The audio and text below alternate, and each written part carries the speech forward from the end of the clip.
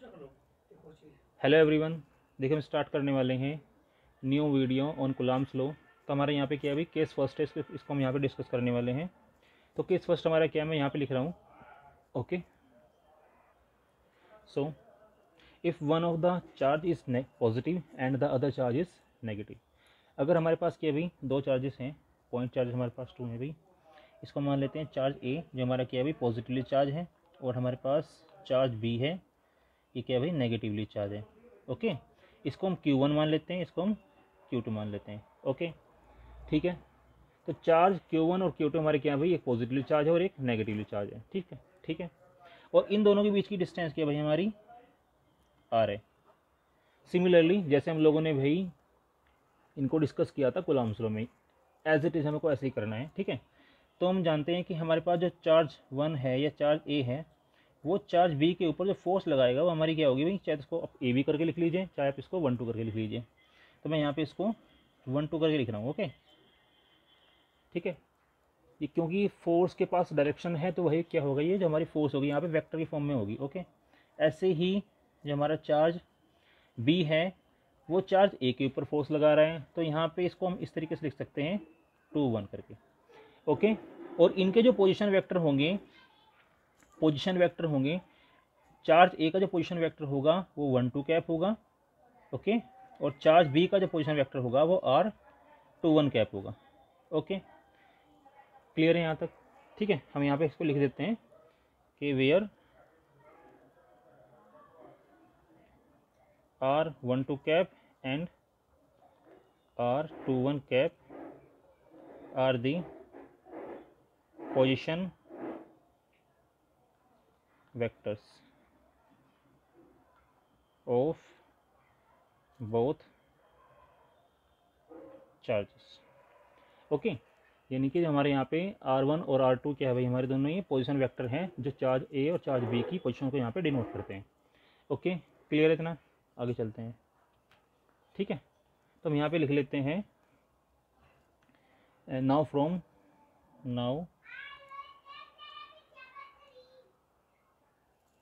now from Coulomb's law हम जानते हैं हमारे पास जो फोर्स एफ़ एफ़ वन से टू पे लग रही है, वो क्या हो गई हमारी भाई?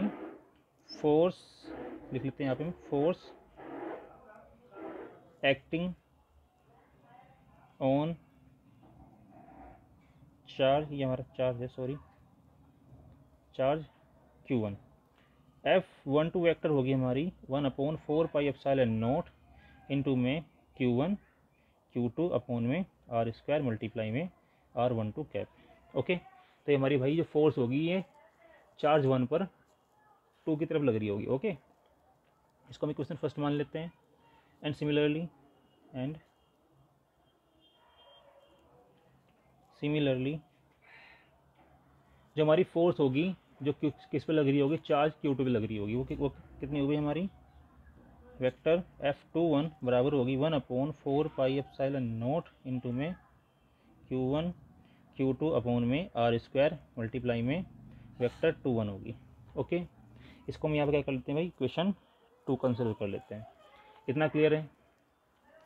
अब हमें क्या बताना है? हमें क्या प्रूफ करना है इसके डाइवेशन के अंदर?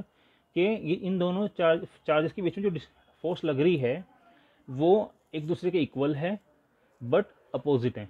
ठीक है? एक दूसरे के इक्वल है बट इनकी जो डायरेक्शन है वो क्या भाई? अपोजिट है, ठीक है? क्योंकि आपको पता है कि जो चार्ज ए के ऊपर जो फोर्स लग रही है वो ए से बी की तरफ़ लग रही है और बी से ए की तरफ़ लग रही है। तो दोनों की दोनों क्या भी अपोजिट डायरेक्शन में लग रही है। दोनों डायरेक्शन यहाँ पे सेम नहीं है। इसी चीज़ को हमें यहाँ पे प्रूफ करना है। ठीक है? तो इसलिए मान सकते हैं, यहाँ पे हम लिख सकते हैं कि बट क्योंकि इन दोनों के पोजिशन वैक्टर भी एक दूसरे क्या है? अपोजिट है तो हम लिख सकते हैं but position vector position vector R one two cap बराबर है माइनस के आर टू वन कैप के। मतलब दोनों दोनों क्या भी एक दूसरे के अपोजिट हैं। ठीक है? एंड देन ये जो हमारे यहाँ पास यहाँ की वन टू की वैल्यू आई है, इसको हम क्या कर सकते हैं? इक्वेशन वन में पुट कर सकते हैं। ठीक है? तो उससे हमें जो रिलेशन मिलेगी, हमारी क्या होगी भाई? तो लिख लेते हैं हम। Put the value of r12 cap in equation first okay तो हमारे पास जो रिलेशन आएगी, वो क्या होगी भाई? One upon four pi epsilon naught into में Q one Q two upon में आर स्क्वायर और ब्रैकेट में लिख देता हूँ मैं यहाँ पे माइनस के आर टू वन क्या ओके अब हमारे पास जो रिलेशन आई है, इसमें से हम क्या करते हैं? पहले माइनस कॉमन ले लेते हैं। तो हमारे पास जो रिलेशन आई वो क्या आई? माइनस की four pi epsilon naught into Q one Q two upon में आर स्क्वायर और R two one cap okay तो ये जो वैल्यू हमें देखने को मिल रही है जो कि तुम हमारे जो क्वेश्चन टू है, उसके बराबर है। यानी कि एफ़ टू वन की वैल्यू हमें यहाँ से कंसिडर हो चुकी है। ठीक है? तो हम यहाँ पे इसको लिख सकते हैं बाई कंपेयरिंग बाई कंपेयरिंग इसको हम क्वेश्चन थर्ड मान लेते हैं। Question third and equation two clear है? आगे चलते हैं। तो हमारे पास जो रिलेशन आएगी भाई, वो क्या आएगी? एफ़ वन टू वेक्टर जो हमारा बराबर होगा माइनस के एफ़ टू वन वेक्टर के। ठीक है, इससे हमें साफ़ पता लगता है कि इन दोनों चार्जेस के बीच में जो फोर्स लग रही है वो हमारी क्या भाई? इक्वल फोर्स है। फोर्स हमारी क्या इक्वल है बट क्या है? अपोजिट है। तो यहाँ पे लिख सकते हैं हम। Hence the force acting between the charges between the charges is equal and opposite okay इतना क्लियर है भाई? एंड जो उसका सेकंड केस है, उसको हम अपनी नेक्स्ट वीडियो में डिस्कस करेंगे. तब तक के लिए good bye and take care